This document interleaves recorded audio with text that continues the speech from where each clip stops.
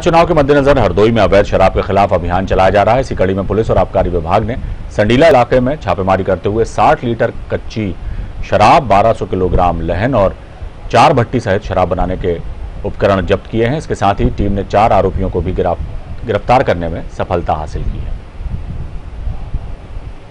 जिलाधिकारी महोदय के आदेश एवं पुलिस अधीक्षक महोदय के आदेश तथा जिला आबकारी अधिकारी हरदोई के नेतृत्व में आगामी त्रिस्तरीय पंचायत चुनाव एवं होली त्योहार के मद्देनजर आज आबकारी एवं पुलिस की संयुक्त टीम द्वारा थाना कछौना के कई गाँवों में छापेमारी की गई, जिसमें 60 लीटर अवैध कच्ची शराब बरामद की गई।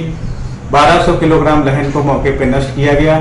चार व्यक्तियों को हिरासत में लिया गया, जिनके विरुद्ध कोतवाली कछौना में विधिक कार्यवाही की जा रही है।